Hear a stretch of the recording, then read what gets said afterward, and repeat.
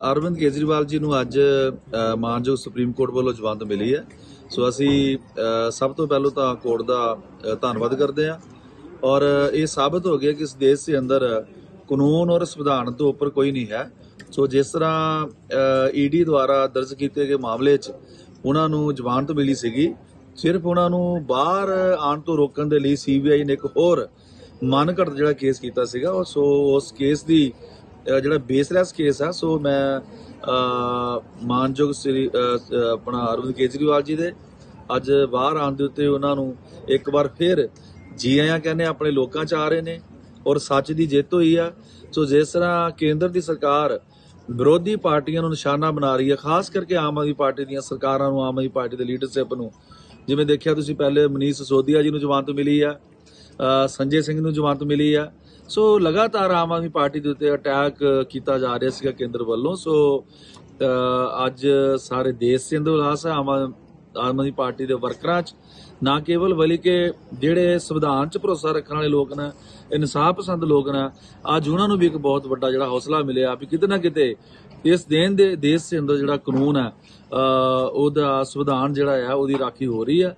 ਸੋ ਇਹਦੇ ਸ੍ਰੀ ਅਰਵਿੰਦ ਕੇਜਰੀਵਾਲ ਜੀ ਦੇ ਬਾਹਰ ਆਉਣ ਦੇ ਨਾਲ ਇੱਕ ਬਹੁਤ ਵੱਡਾ ਦੇਸ਼ ਦੇ ਅੰਦਰ ਅਗਾਂਹ ਵਧੂ ਲੋਕਾਂ ਨੂੰ, ਜਮਹੂਰੀਅਤ ਪਸੰਦ ਲੋਕਾਂ ਨੂੰ, ਸੰਵਿਧਾਨ 'ਚ ਵਿਸ਼ਵਾਸ ਰੱਖਣ ਵਾਲੇ ਲੋਕਾਂ ਨੂੰ ਬਲ ਮਿਲੇਗਾ ਔਰ ਇਹਦੇ ਨਾਲ ਆਮ ਆਦਮੀ ਪਾਰਟੀ ਦੇ ਵਰਕਰਾਂ ਨੂੰ ਵੀ ਬਹੁਤ ਵੱਡਾ ਅੱਜ ਹੌਸਲਾ ਮਿਲਿਆ। ਸੋ ਅਸੀਂ ਸੁਪਰੀਮ ਕੋਰਟ ਦਾ ਧੰਨਵਾਦ ਕਰਦੇ ਹਾਂ ਔਰ ਸਾਨੂੰ ਬਹੁਤ ਵੱਡੀ ਉਮੀਦ ਹੈ ਕਿ ਸ੍ਰੀ ਅਰਵਿੰਦ ਕੇਜਰੀਵਾਲ ਜੀ ਇਸ ਦੇਸ਼ ਨੂੰ ਬਹੁਤ ਅੱਗੇ ਲੈ ਕੇ ਜਾਣ ਦਾ ਜਿਹੜਾ ਉਹਨਾਂ ਦਾ ਸੰਕਲਪ ਹੈ, ਉਹ ਉਹਨੂੰ ਪੂਰਾ ਕਰਨ ਦੇ ਵਿੱਚ ਆਪਣੀ ਹੁਣ ਜ਼ਿੰਦਗੀ ਦਾ ਜਿਹੜਾ ਪਲ ਪਲ ਲਾਣਗੇ ਜਿਸ ਤਰ੍ਹਾਂ ਪਹਿਲੋਂ ਲੋਕਾਂ ਦੇ ਵਿਚਰਦੇ ਸਨ। ਸੋ ਸਭ ਨੂੰ, ਸਾਨੂੰ, ਸਭ ਨੂੰ ਜਿਹੜੀ ਬਹੁਤ ਵੱਡੀ ਇਹਦੇ ਨਾਲ ਰਾਹਤ ਮਿਲੀ ਆ। ਕੇਜਰੀਵਾਲ ਜੀ ਨੂੰ ਚਾਹਣ ਵਾਲੇ ਸਾਰੇ ਲੋਕਾਂ ਨੂੰ ਬਹੁਤ ਬਹੁਤ ਮੁਬਾਰਕਾਂ। ਅਰਵਿੰਦ ਕੇਜਰੀਵਾਲ ਜੀ ਨੂੰ ਅੱਜ ਮਾਨਯੋਗ ਸੁਪਰੀਮ ਕੋਰਟ ਵੱਲੋਂ ਜਵਾਨਤ ਮਿਲੀ ਹੈ। ਸੋ ਅਸੀਂ ਸਭ ਤੋਂ ਪਹਿਲਾਂ ਤਾਂ ਕੋਰਟ ਦਾ ਧੰਨਵਾਦ ਕਰਦੇ ਹਾਂ। ਔਰ ਇਹ ਸਾਬਤ ਹੋ ਗਿਆ ਕਿ ਇਸ ਦੇਸ਼ ਦੇ ਅੰਦਰ ਕਾਨੂੰਨ ਔਰ ਸੰਵਿਧਾਨ ਤੋਂ ਉੱਪਰ ਕੋਈ ਨਹੀਂ ਹੈ। ਸੋ ਜਿਸ ਤਰ੍ਹਾਂ ਈਡੀ ਦੁਆਰਾ ਦਰਜ ਕੀਤੇ ਗਏ ਮਾਮਲੇ 'ਚ ਉਹਨਾਂ ਨੂੰ ਜਵਾਨਤ ਮਿਲੀ ਸੀਗੀ। ਸਿਰਫ ਉਹਨਾਂ ਨੂੰ ਬਾਹਰ ਆਉਣ ਤੋਂ ਰੋਕਣ ਦੇ ਲਈ ਸੀਬੀਆਈ ਨੇ ਇੱਕ ਹੋਰ ਮਨਘੜਤ ਜਿਹੜਾ ਕੇਸ ਕੀਤਾ ਸੀਗਾ, ਉਹ ਸੋ ਉਸ ਕੇਸ ਦੀ ਜਿਹੜਾ ਬੇਸਲੈਸ ਕੇਸ ਆ, ਸੋ ਮੈਂ ਮਾਨਯੋਗ ਸ੍ਰੀ ਆਪਣਾ ਅਰਵਿੰਦ ਕੇਜਰੀਵਾਲ ਜੀ ਦੇ ਅੱਜ ਬਾਹਰ ਆਉਣ ਦੇ ਉੱਤੇ ਉਹਨਾਂ ਨੂੰ ਇੱਕ ਵਾਰ ਫਿਰ ਜੀ ਆਇਆਂ ਕਹਿੰਦੇ ਆਪਣੇ ਲੋਕਾਂ ਚ ਆ ਰਹੇ ਨੇ ਔਰ ਸੱਚ ਦੀ ਜਿੱਤ ਹੋਈ ਆ। ਸੋ ਜਿਸ ਤਰ੍ਹਾਂ ਕੇਂਦਰ ਦੀ ਸਰਕਾਰ ਵਿਰੋਧੀ ਪਾਰਟੀਆਂ ਨੂੰ ਨਿਸ਼ਾਨਾ ਬਣਾ ਰਹੀ ਹੈ, ਖਾਸ ਕਰਕੇ ਆਮ ਆਦਮੀ ਪਾਰਟੀ ਦੀਆਂ ਸਰਕਾਰਾਂ ਨੂੰ, ਆਮ ਆਦਮੀ ਪਾਰਟੀ ਦੇ ਲੀਡਰਸ਼ਿਪ ਨੂੰ।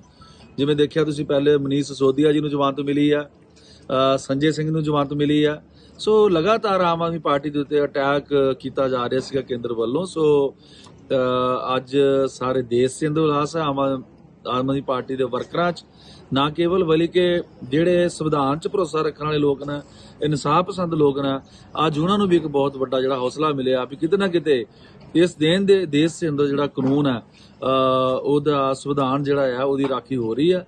ਸੋ ਇਹਦੇ ਸ੍ਰੀ ਅਰਵਿੰਦ ਕੇਜਰੀਵਾਲ ਜੀ ਦੇ ਬਾਹਰ ਆਉਣ ਦੇ ਨਾਲ ਇੱਕ ਬਹੁਤ ਵੱਡਾ ਦੇਸ਼ ਦੇ ਅੰਦਰ ਅਗਾਂਹ ਵਧੂ ਲੋਕਾਂ ਨੂੰ, ਜਮਹੂਰੀਅਤ ਪਸੰਦ ਲੋਕਾਂ ਨੂੰ, ਸੰਵਿਧਾਨ 'ਚ ਵਿਸ਼ਵਾਸ ਰੱਖਣ ਵਾਲੇ ਲੋਕਾਂ ਨੂੰ ਬਲ ਮਿਲੇਗਾ।